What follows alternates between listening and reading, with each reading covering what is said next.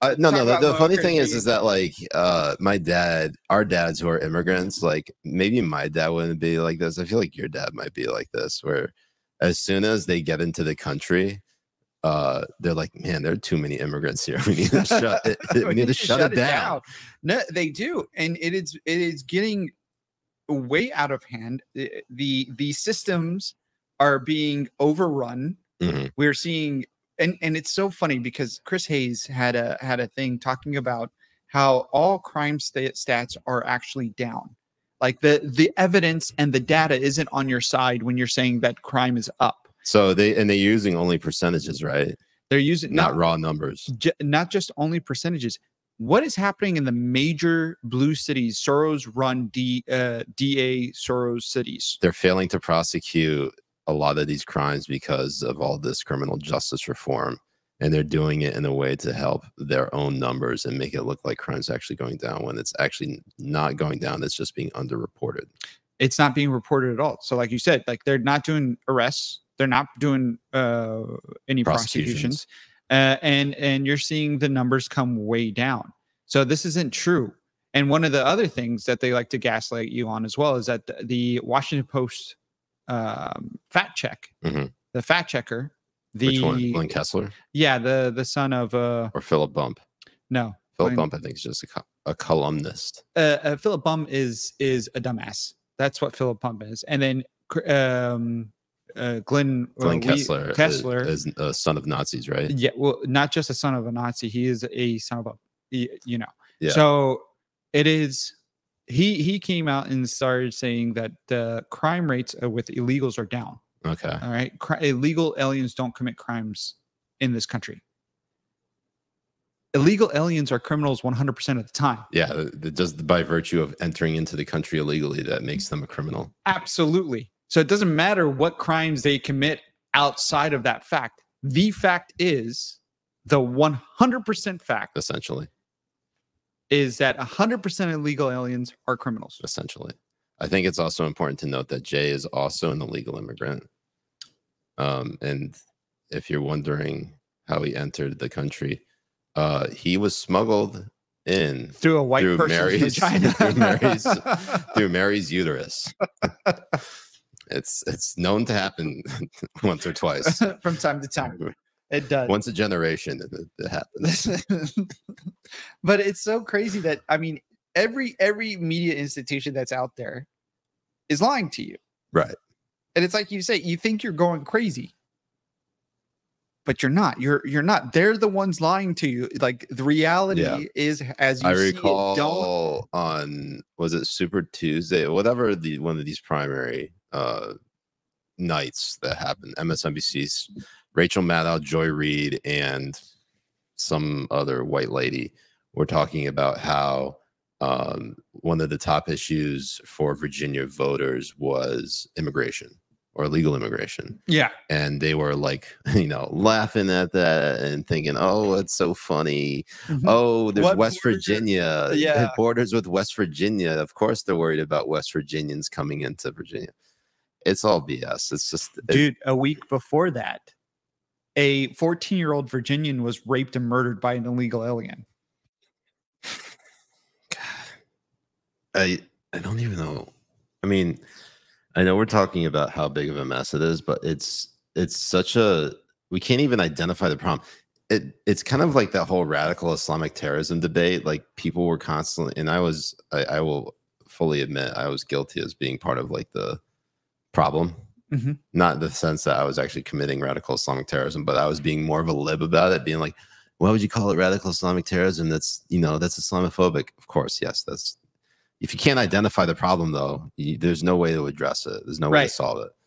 Um i'm okay now with calling it radical islamic terrorism because at the end of the day like these are radicals. It's not the entire you know Right. By not an, an entire community of muslims but like without without identifying it, it i'm sure well 10-7 has gotten me to reconsider this seeing as how many of them celebrated it and i'm just like oh god uh, I Uh, celebrated it, defended it, defend Hamas. i just don't want to be seen with these people hmm God. it's getting yeah it gets it's getting really um insane that they are uh when it comes to the issue of jews it feel like muslims revert back to their natural like uh their natural habitat their primitive the primitive state. of like jihad now Yeah. and stuff It's ins- yeah. Because it, what's really funny is the reason why i say it is because like it's like they revert back to the Crusades Muslims- time. yeah american muslims are far and away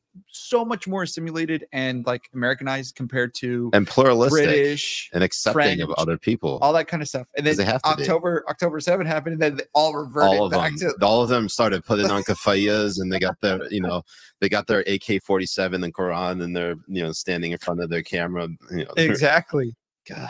it, and it was so crazy because a lot of them like were already going toward um like wanting wanting to vote for Trump. Well, this is like anecdotal in terms of me um and and uh, the different uh, families and and people I talked to, especially California before coming out here. Mhm. Like the biggest issues they had was um the trans stuff Mhm. and especially the stuff that they're the gay uh, as one parent said, gays. the gay shit that they were post that they were they were um, pushing He's quoting. kids. He's quoting. I'm quote. Yeah, no, I'm not even kidding. He came. He because This is the Uber his- driver. No, no, no, No, no. this This, is a guy. friend of mine. Oh, okay. Yeah. So he he his son came home Mhm. and said, "Oh, uh, Dad, they had like rainbow flags." Going out because it's uh, uh Pride month or yeah, Pride whatever, month, Pride week. LGBTQ month and stuff, and and and he goes, "What?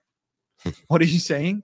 Next day, 6 a.m., he's at the principal's office, sits down with his son. He's like, What is this gay shit that you have in these hallways? He's like, Oh, We're not, we're not putting our kids to come through here to see this stuff. We only have American flags fly, flying in um in, these schools. You think you think I'm I'm asking you to put the Lebanese flag up here or post any of that kind of stuff? Right. They are not going to see any of the like I don't want you guys um influencing them in any way with any of this type of stuff. If if this goes any further, I'm telling you because it was it was like the Muslim community that's in that school mhm. was something like 30% of the the school the student base and stuff. So Oh, like wow. if and he was like going to legitimately make that to zero. Like he would rile Well, them all rile them all up, get them all out of school. Yeah, absolutely. When it came to that issue, and then also, of course, them uh, all making more money under Trump than what they're making now. So they're like, if it hits them financially, they're like, "Fuck this!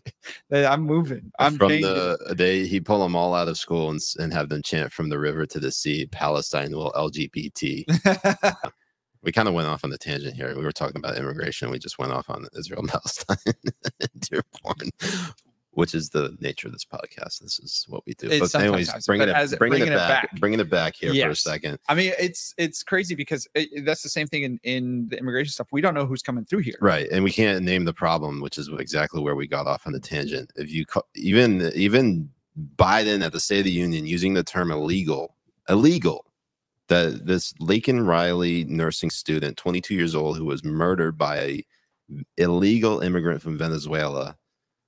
The fact that he said illegal, Democrats were more pissed off at the fact that he said illegal than they were the fact that this Laken Riley Was murdered was murdered. by an illegal alien. Yeah, and then he apologized And then he, yeah, on the he next NBC. He apologized. He's like, yeah, I regret calling him illegal. Like, it's because bro, what, what like, no one can honestly, like, in the grand scheme of things, do you really like it's like it's like misgendering a trans murderer? uh, yeah, right. Yeah, like if they're like if they're like uh charged with murdering them and the- or mur- if they're charged with some crime and, And they're you call you call them you misgender them, call them a he when they identify as she, like that's worse than whatever it is that that trans Yeah, because that's the real did. that's the real violence. That's the not real not the murder. That's the real violence. And they feel like if you do that and you dehumanize illegal aliens, then uh then the Americans are not going to vote for you. right. And it's so stupid. I mean, It's- just the- there's so many.